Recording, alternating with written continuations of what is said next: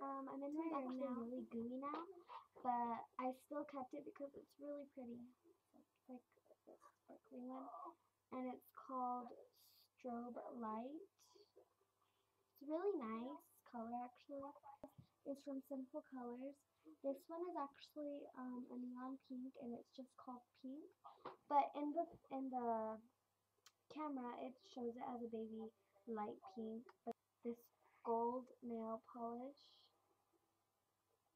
Um, and this one is called Gold Leaf, and it's really nice gold color. I really like this one too. This is actually my second my second favorite one of that kind of the Mary Kay.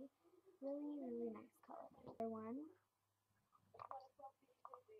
Um, and this one is called Peaceful Heart. This one is a Navi one.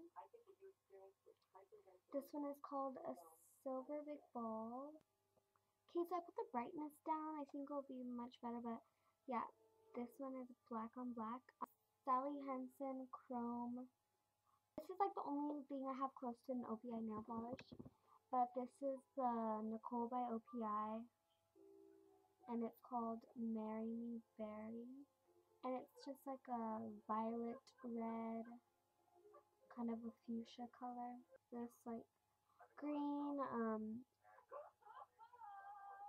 sparkly, sparkly color.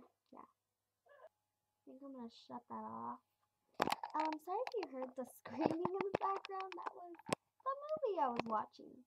Well, I wasn't watching it. My grandma was watching it. One, and this one is called Sterling Silver. And this one is basically just a silver, the streetwear one, and this one's by Revlon. And this one is called Rudolph. This one reminds me of Christmas.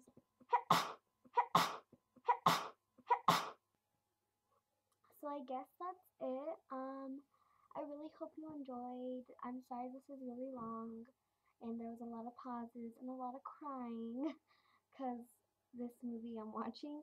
Well, I wasn't watching it, my grandma was. Okay.